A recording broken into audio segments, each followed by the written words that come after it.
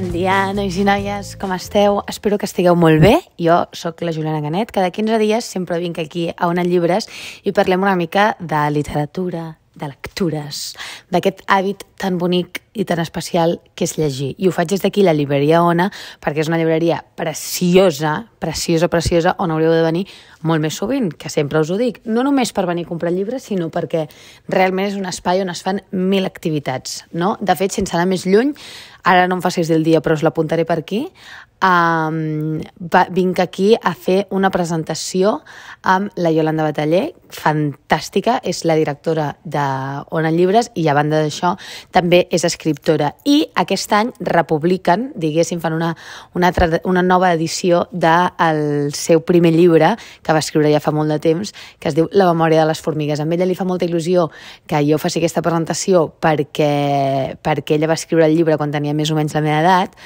Ara, ara ella és una mica més gran, però jo crec que també serà guai i interessant uh, fer aquesta presentació del llibre per poder contraposar les nostres diferents uh, versions, les nostres visions, que moltes vegades són divergents, i, i res, que és guai també perquè jo vaig presentar ja aquí Massadeutes amb les flors, que és el llibre que ha publicat aquest any, és el seu nou llibre que ha publicat després d'estar 10 anys sense escriure, no?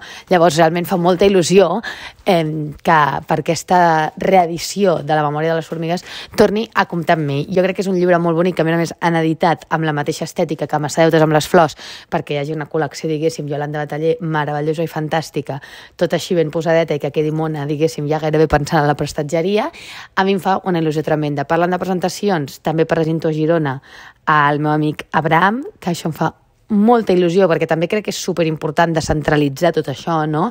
M'encanta que es facin coses a la llibreria Ona, evidentment, i tot el que es faci aquí serà benvingut, però és veritat que també és superguai quan es fan coses a altres llibreries del país, no? I en aquest cas anirem a Girona, també us deixaré per aquí les dates, a presentar el llibre de l'Abraham.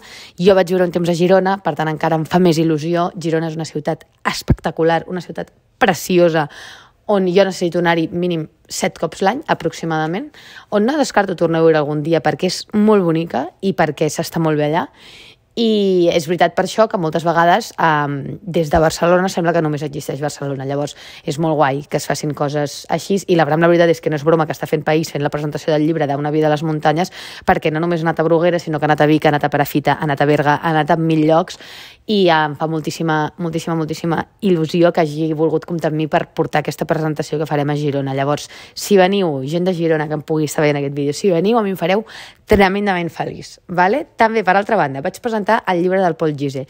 Fixa't que el llibre del Pol Gise no el podreu trobar a la llibreria Ona perquè una peculiaritat que té aquesta llibreria és que només té llibres escrits en, bé, en llengua catalana o en llengües estrangeres però d'autors catalans, no? Doncs, per exemple, la plaça del Diamant en anglès o en francès o en italià.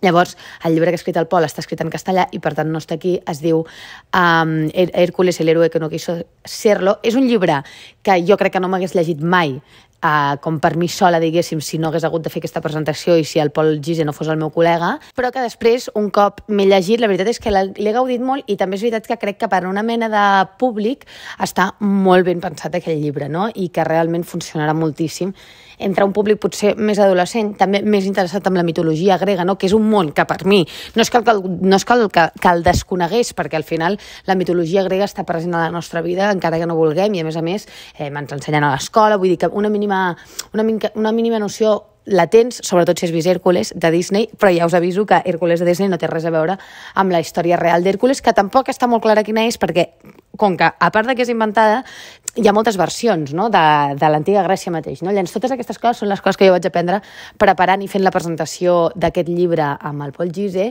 i crec que és guai, perquè a mi fer coses que em treguin de la zona de confort, i em sap greu fer servir aquesta paraula, ja ho sabeu, però fer coses diferents, fer coses que em forcin una mica, no? que m'estirin, que, que siguin coses de les quals no estic acostumada, doncs sempre, sempre fa il·lusió. Llavors, fet aquest moment, uh, seguim amb el meu journey literari. Coses importants, torno a estar enganxada al podcast de l'Illa de Mayans.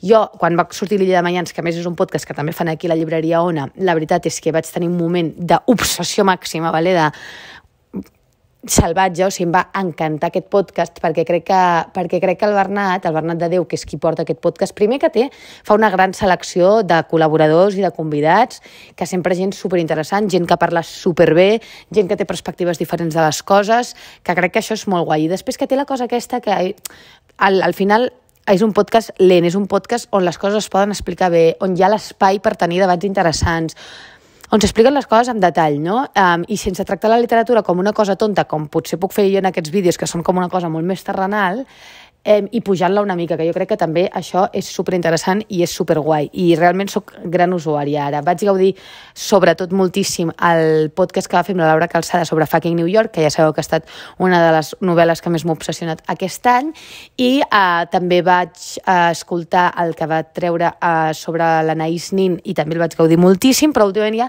l'estic escoltant ja cada setmana quan surt. He tornat a reenganxar-me. Han recuperat una usuària i, i realment us el recomano perquè l'havia deixat d'escoltar no sé, perquè al final, quan ja fa molt que escoltes un podcast, és veritat que et vas com desenganxant i després tens com moments, no? I ara hi he tornat i la veritat és que estic molt contenta d'haver-hi tornat perquè és un podcast que ja et dic, sento que em fa més intel·ligent i jo tot el que em faci més intel·ligent t'ho compro, m'hi tens. Després estic rellegint l'Agulla Daurada de Montserrat Roig perquè l'he hagut de bé, per un treball de la universitat, però l'estic gaudint moltíssim. Ja me'l vaig llegir, crec que ho vam comentar, just abans de l'estiu, i, I, de fet, per mi va ser un descobriment, perquè jo, la Montserrat Roig periodística és la meva preferida, però és veritat que justament l'Agulla Daurada no és ben bé tampoc la Montserrat Roig periodística. És, vull dir, no es pot dir que és un reportatge periodístic, l'Agulla Daurada. És una barreja de moltes coses, no?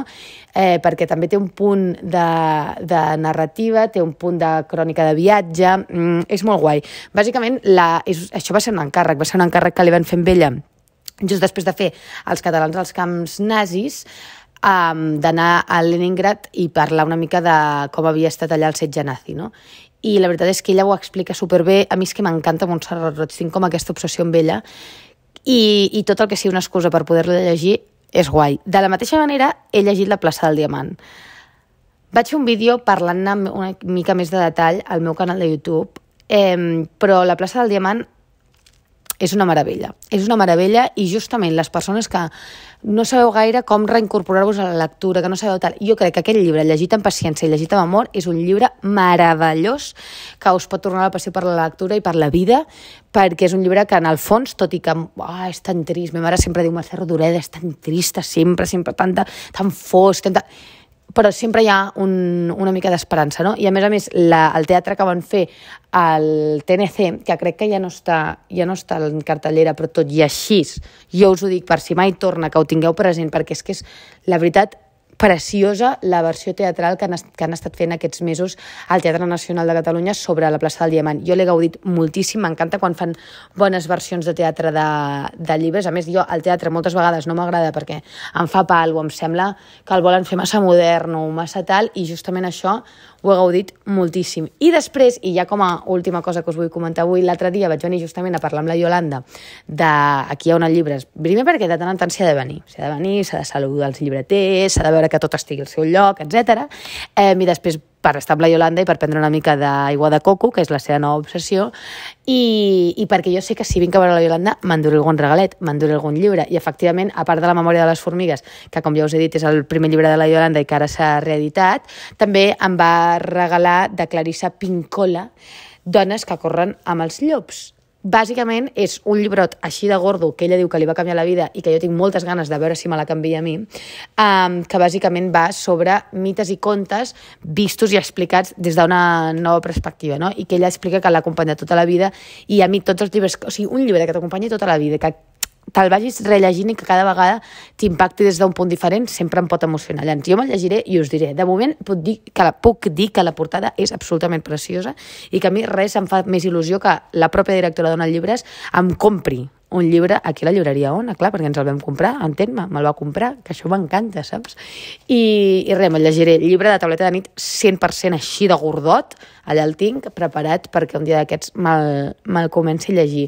I així és una mica com estan les coses a Can Canet ara mateix. La veritat és que estan sent dies absolutament bojos de feina, que mai faciliten del tot que hi hagi lectures, hi ha molta feina de la uni, hi ha molta feina de la feina, però, però bé, intentem trobar el moment. Um, així és una mica com estan les coses nois i noies. Com estan les vostres a casa? Ens veurem aquí a la llibreria Ona quan presenti el llibre de la Iolanda? Espero que sí. Abraçada forta, com sempre, i ens veiem d'aquí 15 dies per seguir parlant de llibres.